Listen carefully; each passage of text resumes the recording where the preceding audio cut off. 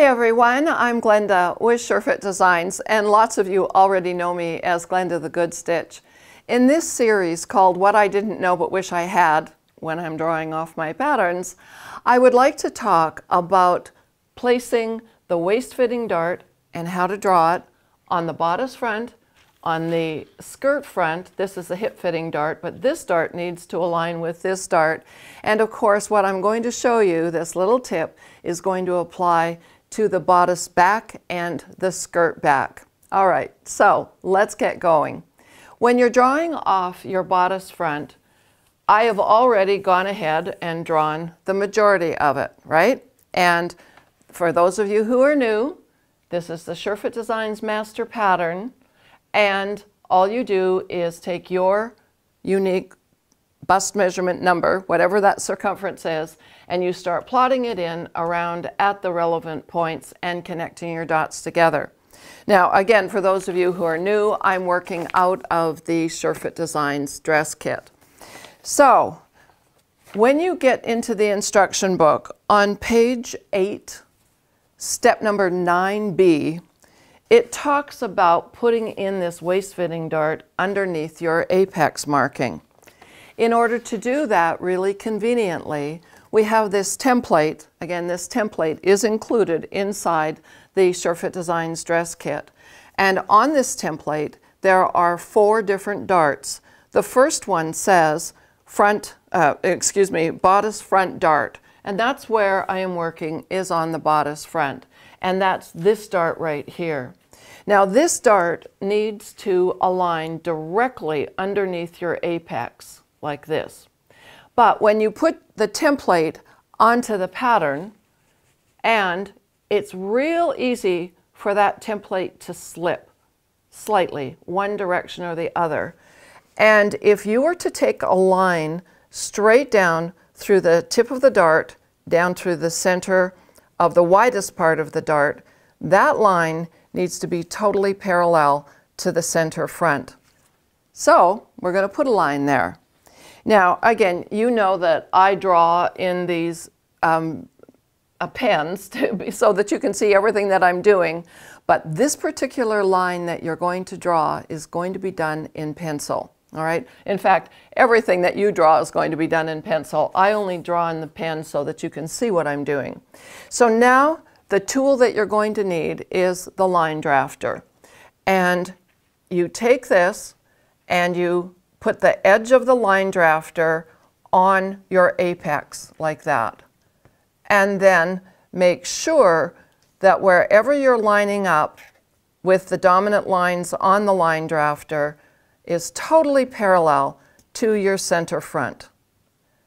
And in this case, the apex width is four inches, so I'm just going to draw a line, very faint pencil line coming straight down. Now I've made this line just a little bit darker so that you can see it on camera, but at home you want a very faint pencil line. And then you take this template and you're going to put the arrowhead of the template on your apex and this is so much easier done if I was on a table. And of course, you are all going to be working on your table at home. So the arrowhead has gone right directly against your cross mark for your apex. And then you draw in the tip of your dart. Yours will be much more distinctive than the fat nib that's on this pen. And then what you need to do is take the blue waist guideline on the template, shift it up until it lines up with the waist guideline on the master pattern, all the while keeping the center of the dart right on that faint pencil line that you drew. Then you draw in the tail of the dart. So when you take that away, you now connect together the tip to the tail end of the dart like this. And that gives you the correct length of dart underneath your apex. Okay, so now you've seen it done on the bodice. We're going to do that one more time on the skirt front. Again, taking your pencil, we're going to come over four inches away.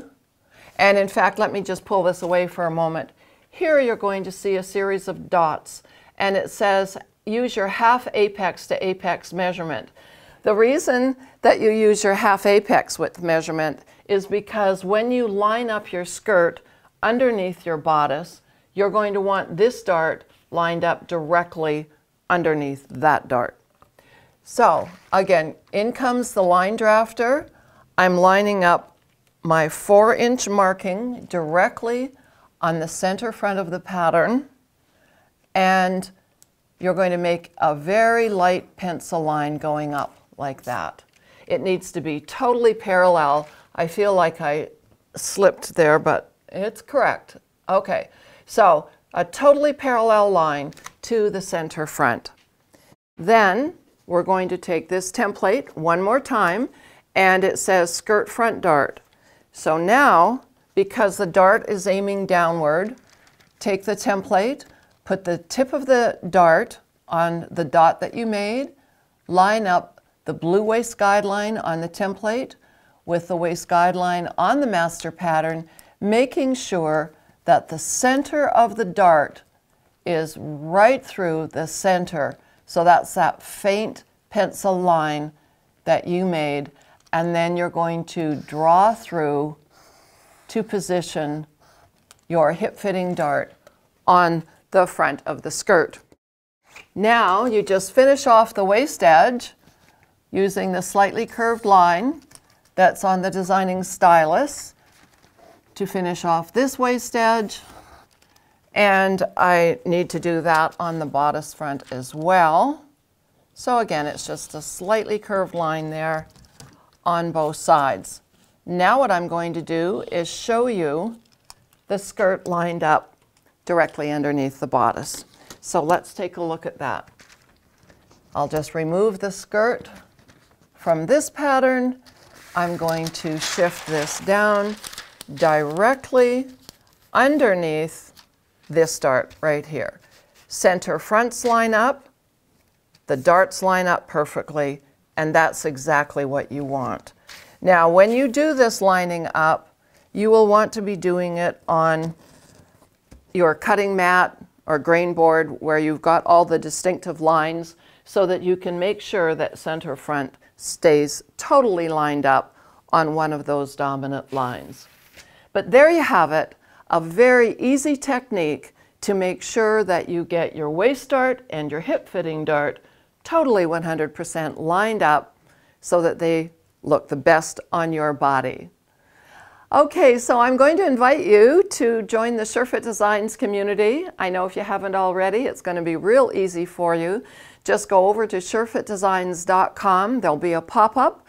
Make sure you put in your name, your email address, and your country. Click the submit, and you'll be taken to the subscriptions gift page, and there's four free gifts to get you started. And if you do Facebook, please make sure you join our Facebook group. And while you're in YouTube watching, make sure to like and subscribe to my YouTube channel. We have a goal that we're trying to get as close to or over 100,000 subscribers. We have over 300 videos on fitting, designing, and sewing, all to help you be successful in your garment fitting. Thanks so much for watching.